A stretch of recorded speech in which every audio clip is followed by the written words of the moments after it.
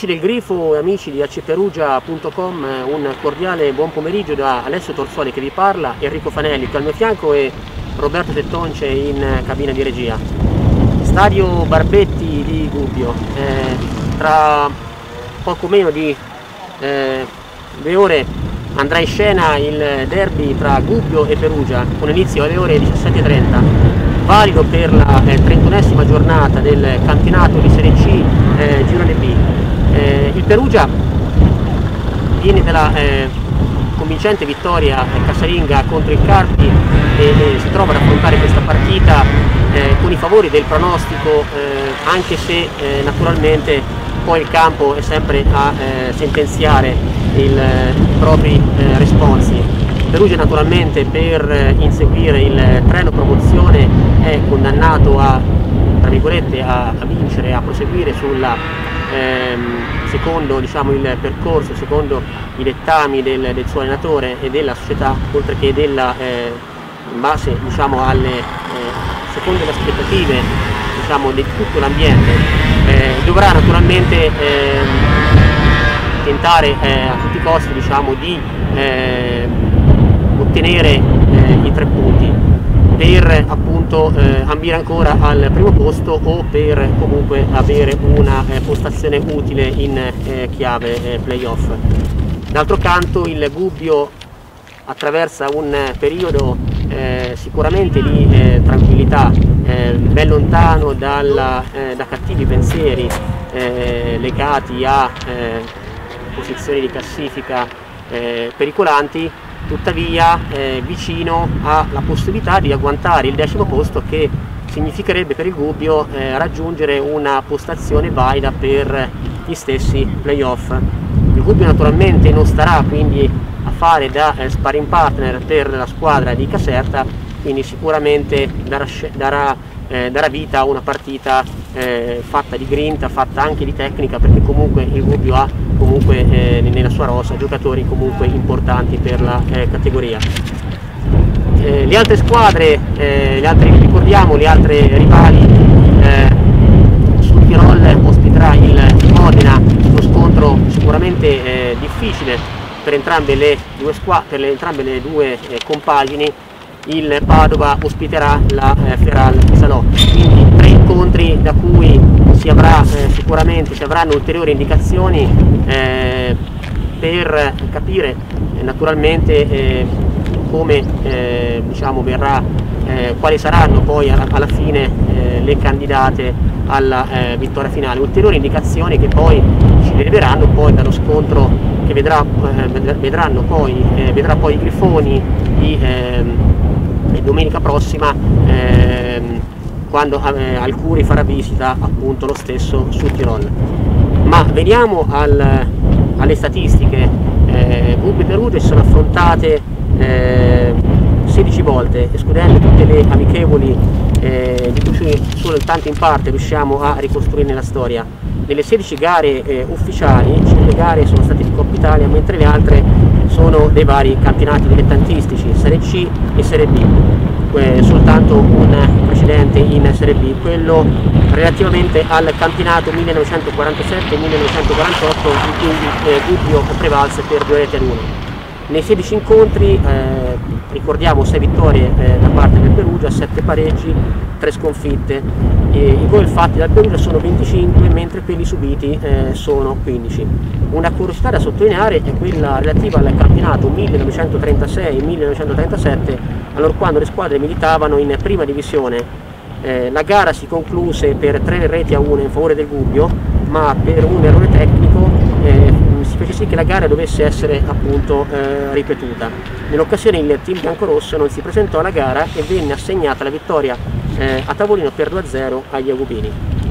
Eh, ricordiamo che queste analisi statistiche ci sono state eh, fornite da eh, Giordano, dallo storico eh, Giordano Martucci. Ma ora andiamo a rivedere il video fotografico relativo all'incontro precedente di, tra Perugia e Carpi con le immagini di Roberto Felici.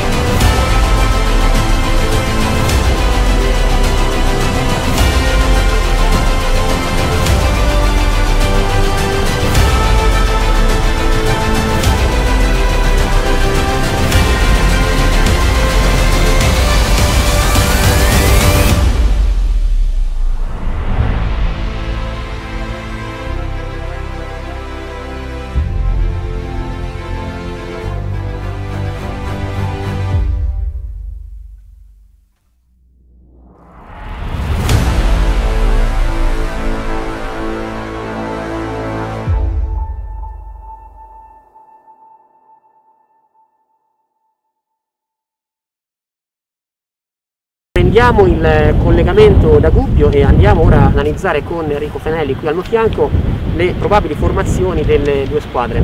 Sì, intanto porgo anche io il più cordiale buon pomeriggio da una ventosa Gubbio. E ora andiamo a vedere appunto quali, come possono schierarsi le due squadre. E a fronte a una importante emergenza difensiva, Mancano, manca Negro infortunato, Monaco squalificato e, e, e Sgarbi che, che, deve, che lamenta una distorsione ad una caviglia. Il Perugia dunque si, può, si schiererebbe in questo modo. Fulignato in porta, Elia, Angella, Van Baleghem, che questa è la vera novità eh, attesa, e Favalli in difesa, poi Juan, Moscati e Sunas a centrocampo, quindi niente, nessuna novità sostanziale rispetto all'ultima esibizione, Muras, Murano alle, no, scusate, Minesso alle spalle di Murano e Melchiorri. Il Gubbio eh, giocherà a specchio con Zamarion in porta, Formiconi, Ugge, Signorini e Ferrini a comporre eh, il quartetto difensivo, Malaccari, Megelaitis che potrebbe essere preferito a Sainz Mazza a centrocampo e, e poi Pasquato dietro le punte che sono Pellegrini e Fedato. Eh, la classifica eh, della, del girone eh, B è la seguente, prima che il, questo turno infrasettimanale venisse disputato, c'è il Padova capolista a 61 punti, il Sud a 59, il Perugia a 57 che deve ancora recuperare il prossimo 31 marzo contro la Fermana, il Modena a 54, la Trestina a 48 che ha giocato ieri, eh, la Feralpi Salò a 46 punti con una gara da recuperare contro il Cesena. Eh, seguono a 45 Mateliche Stambelettese a 43 il Cesena che ha tre gare da recuperare con Feralpi Salò, eh, Gubbio e Ravenna. A 40 punti il, il, Mantova, a 38 il Gubbio che deve recuperare sempre contro il Cesena.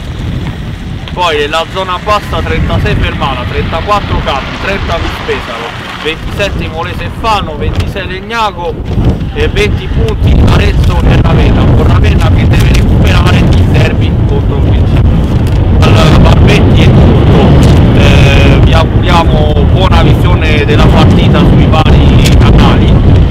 Eh, e a risentirci. Dubbio stanno scendendo le temperature, non resta che attendere a questo punto il fischio dell'arbitro, il signor Miele di Nola eh, a voi di seguirci eh, sul nostro, sulla nostra piattaforma cperugia.com per la diretta, eh, interviste post gara e analisi post eh, gara. Buon pomeriggio e eh, alla prossima partita.